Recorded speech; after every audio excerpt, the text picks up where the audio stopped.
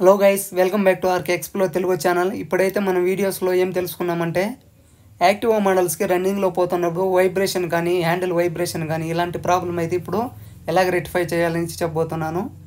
ఇలాంటి ప్రాబ్లం మీ వెహికల్కి ఏమైనా హ్యాండిల్ వైబ్రేషన్ కానీ లేదా వీల్ షేకింగ్ కానీ గుంతలో దించినప్పుడు సౌండ్ రావటం కానీ ఇలాంటి ప్రాబ్లం ఎందువల్ల వస్తుందంటే ఇలాంటి ఫ్రంట్ బ్యాక్ సైడు ఎలాంటి ప్రాబ్లం లేకున్నా ఫ్రంట్ సైడ్ సౌండ్ వస్తుంటే వైబ్రేషన్ వస్తుంటే front side green bush pivot bush ఇలాంటివి అయితే వస్తాయి.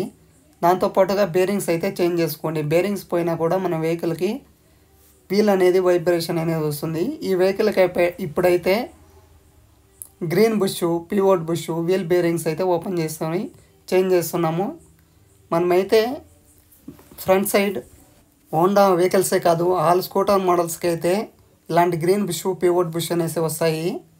మీ వెహికల్ ఏ స్కూటర్ మోడల్స్ అయినా స్కూటీ వెహికల్స్ అయితే ఇలాగైతే మీ వెహికల్ అయితే చేంజ్ చేసుకోండి.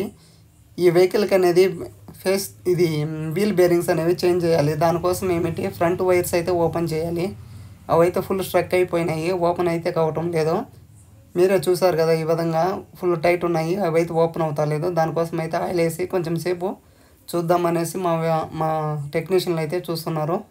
ఇలాంటి బుష్లు అనేసి వస్తాయి. ఈ బుష్లు ఏమిటంటే ప్లేయింగ్ వస్తుంటాయి. మన వెహికల్ రన్నింగ్లో పోతున్నప్పుడు ఆ ప్లేయింగ్ రావటం వల్ల ఏమిటంటే ఫోర్క్ కూడా వైబ్రేషన్ వస్తుంది. Fork vibration.